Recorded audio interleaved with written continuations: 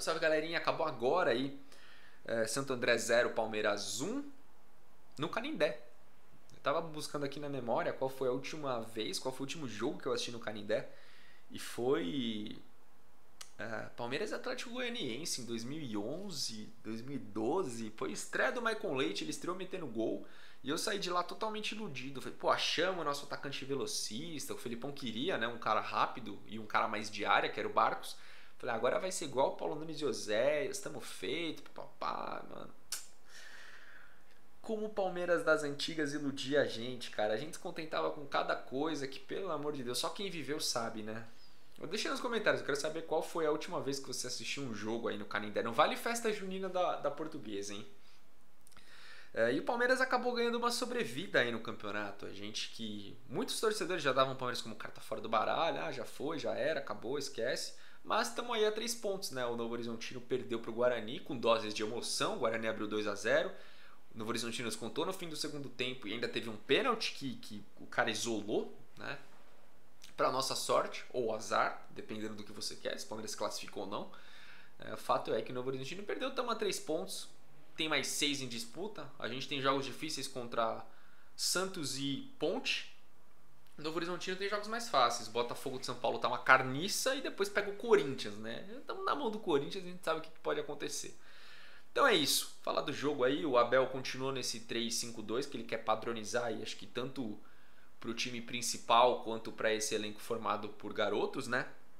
Só que é, nesse time formado por garotos tinha três caras que a gente conhece muito bem, que alguns talvez considerem titulares ou que foram titulares em algum momento dessa temporada vinha pela esquerda, Gabriel Menino pela direita e o Scarpa conduzindo o meio campo, jogadores que a gente esperava mais, que a gente esperava que chamassem mais a responsabilidade. Acho que desses três o Scarpa foi o que atuou melhor, né? em comparação com o que ele jogou contra o Novo Horizontino, foi bem melhor. Né? O Scarpa estava muito mal. Aos sei lá, 15, 20 minutos ele já apareceu bem ali, finalizou uma bola importante. Tudo bem, foi marcado impedimento, mas ele ele estava ali, né, participando da jogada. E aí aos 23 ele pega uma bola que o Gabriel Menino bateu para frente, tem uma disputa pelo alto, depois ele disputa de novo, ajeita com a cabeça, sai na frente da, da zaga do Santo André e fuzila o Fernando Henrique, abrindo o placar pra gente. Depois o Santo André acho que tomou conta do jogo, teve mais ímpeto, mais volume, foi para cima. O Jailson, quando precisou aparecer, apareceu. E no fim do primeiro tempo a gente volta a melhorar um pouquinho mais, porque eu acho que o Bicalho apareceu pro jogo, deu um passe de correr bonito pro, pro Giovani, se eu não me engano. Depois teve um outro lindo passe que foi pro Papagaio naquele lance do pênalti, que foi um lance escabroso, né? E aí tem o que falar, né, bicho? Quando a gente. É, vamos voltar no, no tempo, quando não tinha VAR, algumas jogadas aconteciam em velocidade, seu time perdeu porque tinha um cara impedido por um centímetro, uma jogada rápida que enganou o juiz, qualquer coisa assim, às vezes você até relevava ou pensava: será que o juiz está mal intencionado ou será que ele não viu? Né? Tinha espaço para dúvida. Agora, com o VAR, é um absurdo que algumas coisas não sejam marcadas. Né? O Campeonato Brasileiro do ano passado foi recheado de erros. Goleiro pegando com a mão fora da área. Aí você me fala, ah, mas o VAR não pode atuar nessas situações. Então, para que, que serve o VAR, cara? Se ele não pode atuar numa situação ou na outra, para que serve? Sabe? É um negócio que eu não consigo entender. E aí os caras têm o poder do replay infinito de assistir várias vezes o lance, mudar a câmera, é, ver de ponta cabeça se quiser. E eles seguem errando. Quer dizer, não é erro, né? Se for erro técnico, o cara olhou aquele lance e fala, ah, acho que não foi pênalti. Esse cara precisa ser internado. Porque ah, que estão colocando para apitar os jogos, para comandar o VAR? É um absurdo, cara. É um absurdo. Ainda que o juiz fosse conferir naquela porcaria daquela TV e desse jogo perigoso, porque sei lá, ele poderia interpretar que o Fernando Henrique chegou antes, tocou a bola e depois no, na continuação do movimento acertou o papagaio. Poderia ter tido essa interpretação e dado um lance perigoso, falta em dois tempos, qualquer coisa do tipo. Mas alguma coisa deveria ter sido marcada. É um absurdo uma jogada dessa, cara. Pegou com a sola na coxa do papagaio, um lance claríssimo. E os caras não recomendaram que o juiz fosse assistir. Então, se antes a gente tinha dúvida, hoje a gente tem certeza que algumas coisas estranhas e inexplicáveis acontecem nos bastidores do futebol. Porque não, não marcar um, um, um pênalti desse, ou, ou não, pelo menos não recomendar que o juiz vá assistir, você me desculpa, é um absurdo. E aí na continuação do lance, aquele corno deu um amarelo lá pro Vanderlan, Henri, nem lembro quem tomou o cartão. Mas enfim, teve esse absurdo aí, o Abel ficou indignado no banco de reserva. E uma certeza que a gente tem é de que é, Anderson Barros, Gagliotti e sua turma não vão aparecer para esbravejar contra é, alguns, algumas atitudes estranhas da arbitragem que a gente já, já, já tem na Recopa, na Supercopa, no Paulista, na Liberta. Ninguém aparece, ninguém fala nada.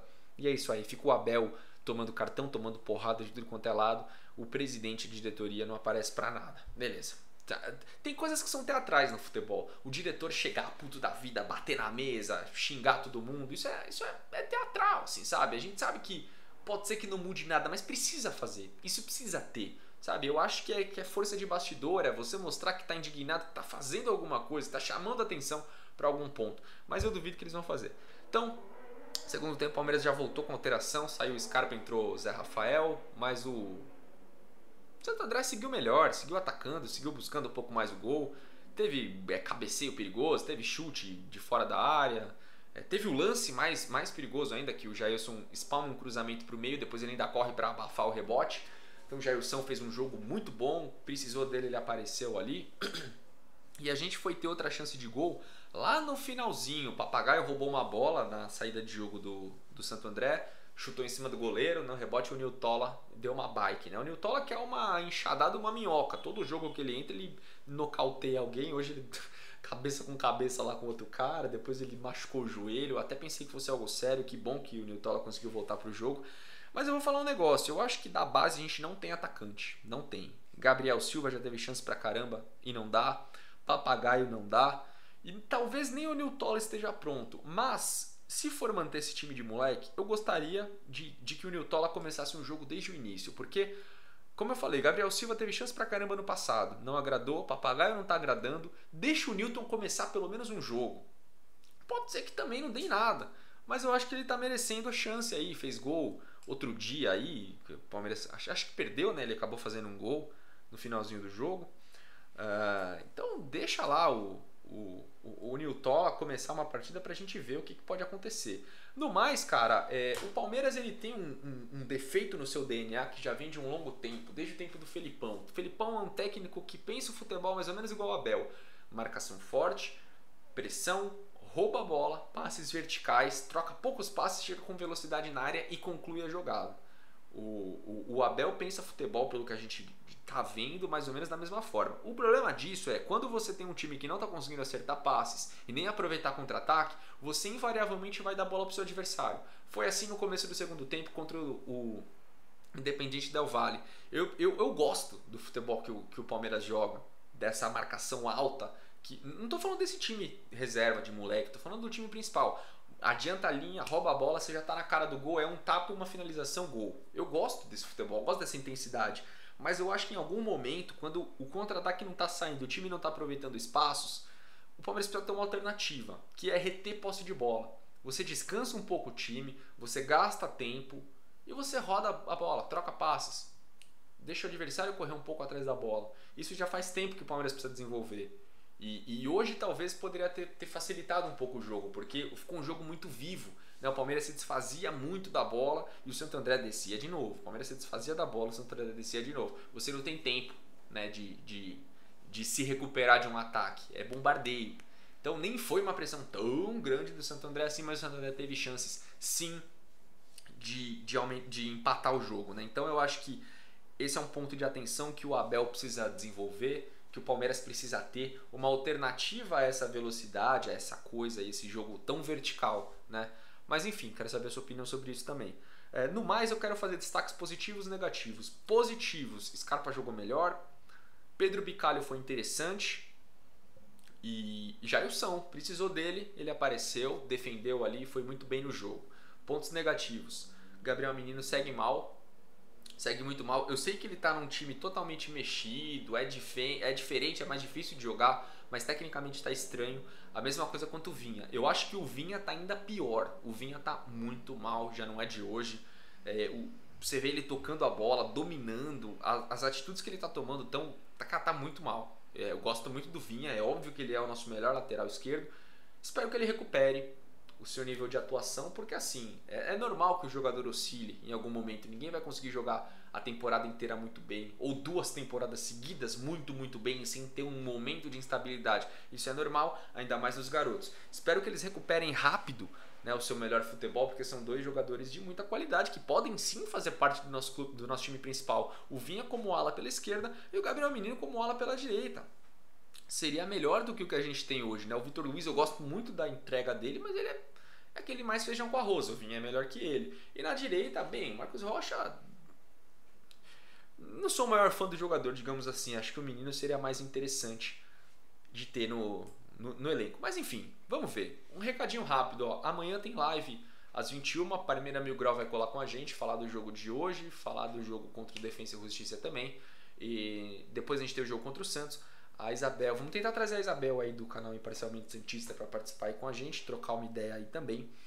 E debater sobre esse que é o próximo jogo do Paulista, né? Eu acho que o Palmeiras acaba sendo um pouco mais favorito, porque o Santos está mal nas duas competições, precisa vencer na Liberta, senão tchau tchau. Então precisa jogar bem contra o Strongest aí, garantir uma vitória. E no Paulista o Santos também tá a quatro pontos, precisa vencer dois jogos para quem sabe se classificar, né? Eu acho que Palmeiras e Santos é o jogo dos desesperados. Quem perder tá fora e, e, e acabou. Para fechar esse vídeo, mais dois assuntos que surgiram aí, né? É, comemoração do Castelhanos, fez gol de novo, comemorou aí de, de forma. Alguns estão encarando como protesto contra a diretoria do New York City. Eu não sei se o Castelhanos vai vir, se vier, não sei se ele vai dar certo, mas a gente tem que bater palma pela vontade desse garoto, porque ele tá fazendo de tudo para vir jogar no Palmeiras. Tudo que ele pode fazer, ele tá fazendo. Ele tá tentando de tudo. Então, valeu, Castelhanos. Espero que, que você venha, cara, porque qualquer reforço eu acho que vem para somar. A gente tá precisando de atacante, cara. Então, gostaria que desse certo, mas esperar algo dessa diretoria, esperar alguma atitude aí dos caras vai ser difícil, viu? Mas valeu, Castelhanos. A gente tá vendo o que você tá fazendo para vir jogar aqui, tá? E por fim, o Guerreiro, né, surgiu aí como pauta da torcida, porque ele sinalizou que deve sair do Internacional. O Yuri Alberto está jogando bem, ele perdeu um pouco de espaço. É... E a galera já começou a especular, né? A custo zero, vindo uma hipotética transferência para o Palmeiras, eu gostaria. Eu gostaria porque eu acho o Guerreiro um baita centroavante, é mais centroavante do que o Luiz Adriano, é mais fazedor de gol. É, mas esquece, o Palmeiras não vai atrás, eu não vou nem debater muito isso, porque, cara, se o Palmeiras trouxer o Guerreiro, eu faço um vídeo pedindo desculpa, tá? Uns vão falar, ah, tá velho, não sei o que. Cara, é fazedor de gol. É fazedor de gol. Falaram que o Ibra tava velho, ele tá arrebentando no Milan, o Fred tá aí fazendo seus golzinhos no Fluminense. Eu acho que o Guerreiro seria muito boa contratação pro Palmeiras, ainda mais vindo de graça. Mas é um jogador que tem salário alto, é um jogador que. Não sei. Acho, acho que o Palmeiras não, não iria atrás. Mas eu gostaria muito. Aí você pode falar, ah, mas o Guerreiro é gambal, o Guerreiro é esse, o Guerreiro é aquilo. Gente, a gente tem que jogar com a realidade. O Palmeiras não vai tirar o cano do Vasco, não vai pegar o Ítalo do Red Bull, nem o Castelhanos está conseguindo tirar. Então, assim, cara, é, o Palmeiras tem que aproveitar oportunidades de mercado. Essa seria uma boa oportunidade, mas acho que ninguém vai se mexer. Quero saber a sua opinião aí também sobre o Guerreiro, beleza? Um abraço para você, boa semana, tamo junto e é nós, valeu!